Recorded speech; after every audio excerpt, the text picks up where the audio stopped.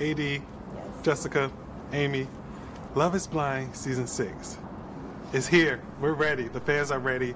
Are you guys, first off, how are you feeling? You know, knowing that the world is getting ready to watch you go on this wild dating experience. How are you feeling? It couldn't. Lost you know, words. yeah, there's, no, there's really no way to explain deep that. but it's been such a long journey, and I think we can. I can speak for everyone when I say we're just ready for the world to see Yeah. all the all the hard work we put in, all the friendships we've bonded over. Like, there's a lot to see. There's Yeah. a lot to see. It's exciting. We're nervous. I mean, I think we're all just hoping that everyone receives us well and just gives us grace. Yeah. Yeah.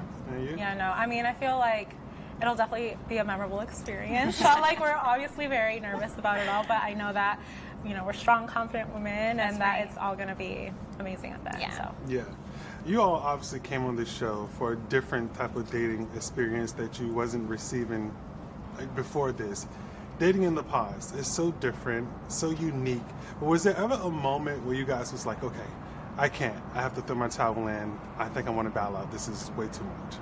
Yes. Did it ever cross your mind? Yeah. Yes, absolutely. absolutely. More than once, probably. What, what, what was the moment that made you go like, okay, I don't know what I'm doing here? Uh, for me, uh, there were certain conversations that I couldn't participate in on camera just because I knew uh, like my daughter would potentially see the show, and they were important conversations that you want to have with the man that you're going to potentially marry. And so when I wasn't able to like connect fully on those levels that I knew some of the other girls were, I was kind of like, okay, I, I got to leave. Like maybe this isn't for me. But I saw it through and I saw the process through, and it, it happened how it was supposed to. What was that moment like for you, Amy, dating on the I mean, I feel like it was very similar in the sense that, like, you know, I was missing my family and it was just overwhelming. There were a lot of emotions going Yeah. on, obviously. So um, it was just kind of a moment where I was just like, Am I doing the right thing? Like, I felt selfish partaking in this um, because I've always put my family first. And this is like the time that I actually put myself first.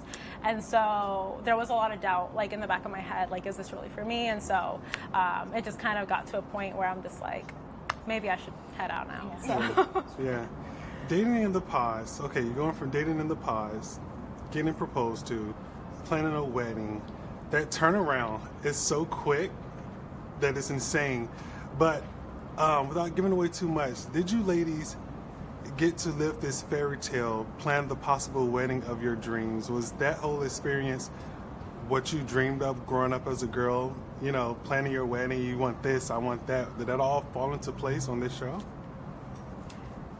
I would say that I was just kind of leaving it to faith for a lot of things. I feel like there's so many things um, that comes to planning a wedding, and so um, it was just kind of taking it day by day, really, and going with the flow. I mean, that's the best I can describe it as, and just kind of hoping for the best and not being, you know, super crazy about wanting everything to be perfect. Just really just being chill about it in the best way possible.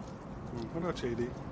Uh, I was not the girl that grew up dreaming about a wedding. I really didn't have the colors or the perfect dress. So just having that opportunity to even go pick out a dress and try it on was all brand new to me. It was all brand new feeling. So um, that was an experience that I'll, I'll never forget. Yeah. I want to go back to you, Jessica. You mentioned your daughter. Mm-hmm. I watched the first few episodes. I know she was a huge, you know, thing with you. You were nervous, and I would have been too, coming into this and letting the guys know, like, hey, I'm a mom, have a 10 year old daughter. She's my world. You either get with it or not. How was that process? How did you navigate that? Because that's a lot. I don't think I've seen the show and there's been a mom come up here. I think maybe you're the first one. I don't want to say that, but what was that whole process like for you? That balance? Um, honestly, it came so naturally. I didn't really have like a set plan for going in and telling each of the men I was dating that I had a child. I just let it happen organically in conversation. Um, I didn't lead with it because I wanted the men to get a chance to get to know me first uh, before I led with me being a mother. But there were certain conversations that came up like, are you interested in having children or do you like children? And so those would usually be an appropriate time for me to be like, oh, well, of course I want children. And by the way, I already have a head start. Been there, done that. yeah.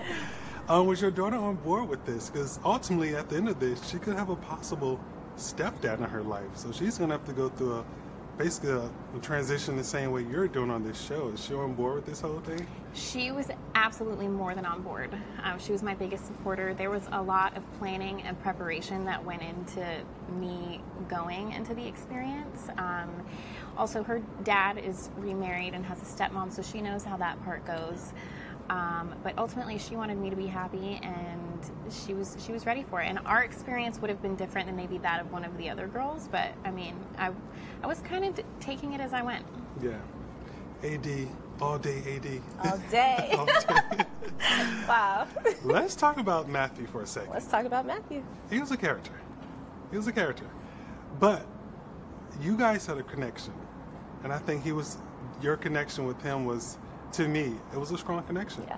But you also had a connection with my boy Clay. Oh, Clay. So, what was your balance? How did you let your heart decide for you who was the right guy, who was the right match? Yeah, for sure. Um, they both, Clay and Matthew, I mean, they offer different things. Um, and I was a different person with each of them. With Clay, I felt very at home, I felt very safe. Um, I felt like we spoke the same language. I felt like we were, like Amy said, the same font. Like we just are the same person, like just from around the way. Um, Whereas in Matthew, he offered a sense of security in a different way. Um, he offered the lifestyle that I had kind of dreamed about of just kind of being at home and being taken care of and being pampered and like him being that strong figure. Yeah. Amy, being in those pods and hearing I love you, did you expect to hear that so soon in the game? No, I was so caught off guard. I was like, "Excuse me, what did you say?" You what me? I was like, "What?" Um, no, but I feel like at that moment I was definitely feeling the same thing. It's just one of those awkward things you don't really know how to vocalize and when to vocalize. Like it's one of those things that we overthink so much, and so when he said it, I mean, I was feeling it too, and so you know. Yeah, yeah. And as I'm sitting here, I'm like gazing at all your fingers. Are we engaged? Are we single? Guess you'll just have Yeah, to wait yeah, and see. let's find out. Okay, okay. I love this core that everyone's going for today. I love that. Last question: Is love truly blind? And would you go through this entire process all over again? Yes, absolutely. Agreed. Agreed. That's it? Why? It taught me so much about myself and leading with vulnerability and that aspect of co- like completely connecting emotionally before physically. Mm-hmm. I think so many people don't realize how important that is. Yeah. Yeah. I feel like in our generation, we put the physical first, Of course. and that's that's not the most important thing. And so I feel like having the safe space where we could get as deep as we wanted to just really allowed connection to form organically. Yeah. And AD, you? I agree with these ladies said. I mean, there's things that you can't do in the real world. There's questions that you would never ask on a first date. And having those opportunities behind that wall to just kind of let that go and be like, well, I want to get married to you, and it mm-hmm. not be a weird thing, which it just allowed so much more openness and realness. Yeah. So I would 100%.